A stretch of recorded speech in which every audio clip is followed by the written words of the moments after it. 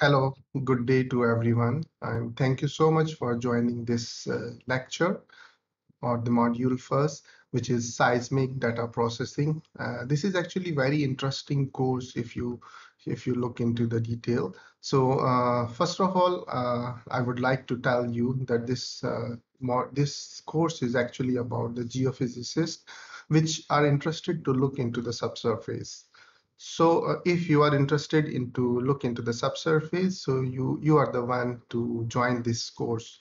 So before I go into the detail of the course, so first of all, I would like to think, I, I would like you to think that how the geophysicists look the targets in the subsurface, such as uh, they have explored the water ex water and sometimes minerals and sometimes uh, hydrocarbon which is oil and gas exploration. So uh, i will just give you a 10 second to think about this uh, idea. I mean how the people or geophysicists look at the subsurface for groundwater mineral and hydrocarbon. So your time starts now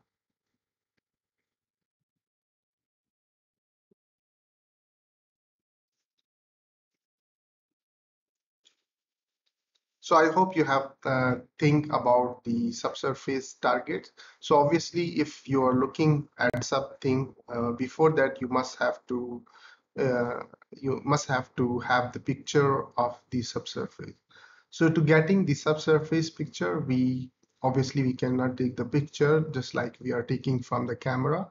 So we must have to send some seismic waves into the subsurface and uh, that reflect from the subsurface material such as limestone, sandstone, and comes to the ground, which is recorded at the geophone. So after that signals reach to the geophone or the receivers, I mean, either in case of marine or in case of land. So there are different instruments. So we have to process that data. So that is actually the objective of this course. So uh, for this uh, module, we are going to cover two uh, learning outcome, which is the first one is to understand the seismic data processing itself. And the second objective or the module learning outcome will be to explain why SDP is important in subsurface characterization. So as I mentioned, uh, uh, this is very important data processing because we are looking into the subsurface uh, which is uh, to look or explore the hydrocarbon and this thing. So before that, we have to know what is the seismic data. So the seismic data is actually the response of the seismic wave recorded at the surface of the earth with respect to the time is known as seismic data. So this survey is uh, commonly used for locating the groundwater, uh, minerals and mine investigation, and also to locate the landfills in the subsurface. And also sometimes we are doing the regional geological studies to look at the subsurface and how the uh, faults are generated and with the 4D data, we can look at the fault distribution and with the time, difference time. But uh, primarily uh, what we are focusing here in this course is actually we are looking at the oil and gas exploration, which is quite deep seismic data. So uh, why we do the seismic data processing? You have many pictures, you have look at the camera, you can take the pictures. But in the in the seismic case or for oil and gas exploration, actually we are looking into the subsurface. So for that case, the seismic survey used the reflected sound waves to produce an image of Earth's surface. And this survey does not actually provide the clear picture of the uh, subsurface target as it has to go through the extensive processing steps, which we are going to learn in the next modules and so on in this course. So the uh, on the left side, you have the camera image, uh, which is shown here. I mean, you can see a clear picture of the mountain, which in which you can define even the layers. I mean, you have this um, solid, soft, then you have unconsolidated materials, and this is your land. But if you're looking on the right side, which is the seismic image, uh, actually it is already gone through extensive processing. So after the processing, you can look at the subsurface uh, reflectors. So once it is recorded at the surface, this is not looks like this image. So we have to do the seismic processing. It's a similar way when you are doing the uh, X-ray for your body. So in X-ray, you have the your body and you can look at the each and every bone in, in your body. So the same case we are applying to the earth, we apply the physical physics to the earth and uh, get the reflected sound waves and process that data. So obviously, the uh, again uh, another questions uh, arises in your mind. So how the seismic data is acquired in the field? How we measure this uh, sound signals? So obviously we have two cases or either we can have three cases. So one is the land seismic recording and second one is a marine uh, seismic recording system. So the third one is transition zone. So sometimes you have half part in the land and half part in the marine. So that is called the transition zones. So on in the land uh, acquisition, so you uh, normally we use uh, the vibroseis truck to produce the seismic waves uh, you see this is a, a vibrating plate once it uh, be, begin to vibrate then it's produced the seismic signals over here so once the seismic signals pro produce here and it's travel through the subsurface and reflect from the different rock material. So if you have the different velocity and density contrast of these layers, then you have the reflection. So in between this rock, you will not have any reflections. So similar way, uh, then once it uh, reflect back and it's got to the geophone, uh, which is normally in case of your land acquisition. So there are multiple hundreds of geophones are active and you are you are producing the seismic wave.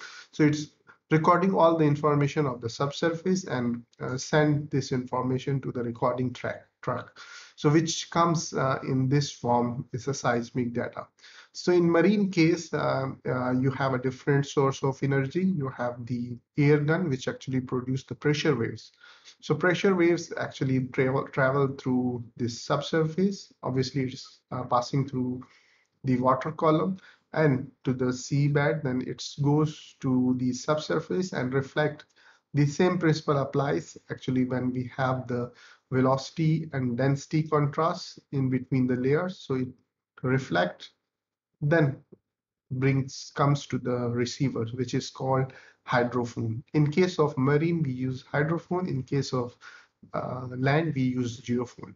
So then this all uh, hydrophone is actually connected with this cable, which is shown in the gray color, and it comes and we have the recording system here. Then it's recorded in this in this vessel. So on the generally uh, when we are talking about the acoustic impedance, so as we have the velocity and density contrast, acoustic impedance. So in that uh, I'm giving you how we convolve our seismic wave to the earth.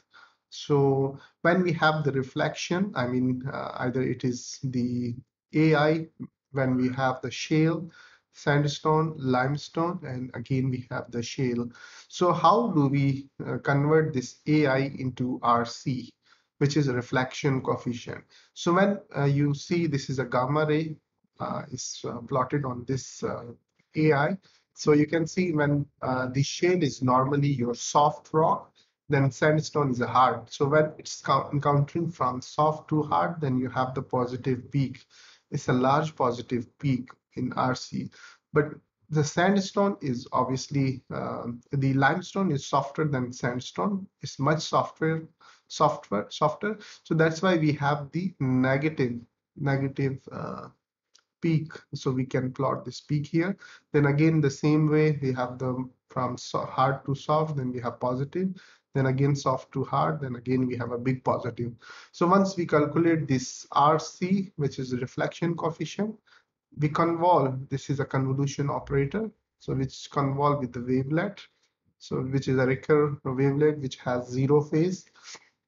So when it's convolved with this RC, then we have the output. So this, uh, when this blue will convolve with this RC, you have this red wave. Then second one is blue and then green and magenta. So once we combine all these traces, I mean, you can have this reflection upon this uh, RC. So this is actually the principle which we apply the seismic wave which convolve with our earth material and provided by the seismic waves. So why we, we are doing this so complex uh, physics to applying this um, geometry, we could get the subsurface image directly. But the problem is that once uh, we have the case like on the left side, you have this model, so which is a syncline, the syncline model.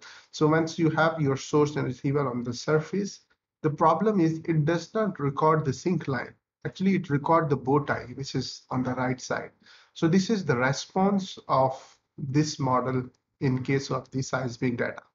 I am going to show uh, another animation, which how does it acquire uh, with this model.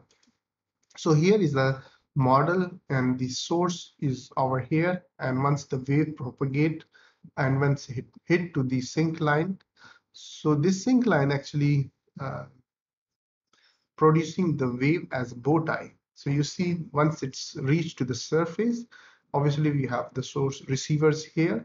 Once it received to the surface, it recorded as a bow tie rather than a syncline. So for that thing, obviously we have to pass through many processes.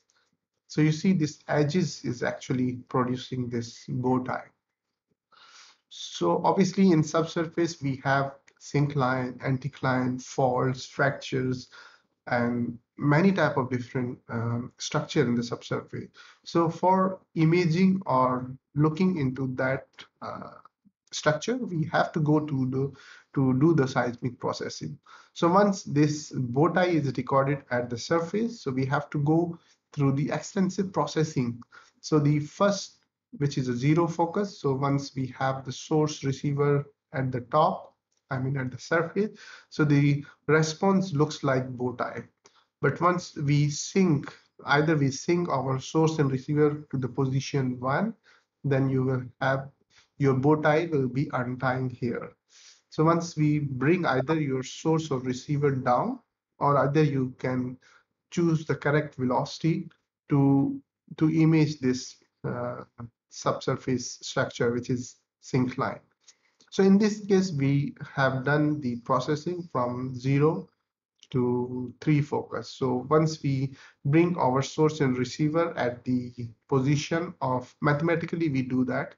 So we bring our source and receiver to the position of the geometry or the structure, then you can have the proper image of the subsurface, which is a syncline in this case.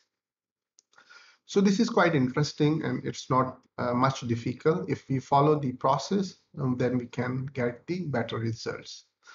So there are some key elements of the seismic trace. The first one is your polarity.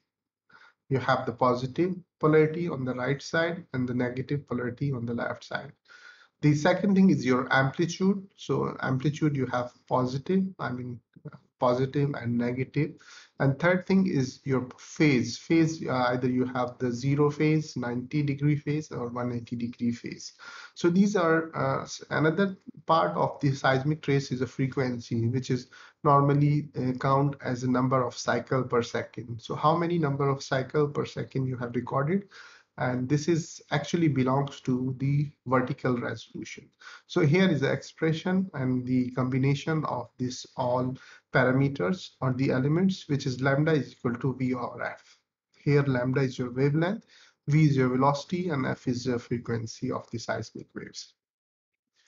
So there are some physical factors when we send the seismic wave into the subsurface that comes to the uh, surface. So there are some factors which is explained over here, and we will going to have more detail about these things in in in the next modules.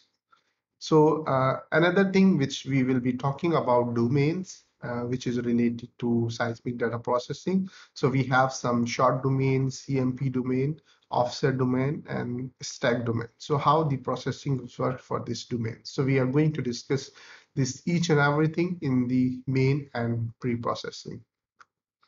So the last, uh, in last, I would like to uh, thanks everyone and we have the learning methodology. So we will be having some of the modules. We will be having some of the slide interactive discussion in the forums and also the ask question and daily feedback. So with that uh, with that all uh, i would like to thank you for joining this first module and the the second part of the first module will, will be in the next uh, video. And you are welcome to listen about that. And thank you so much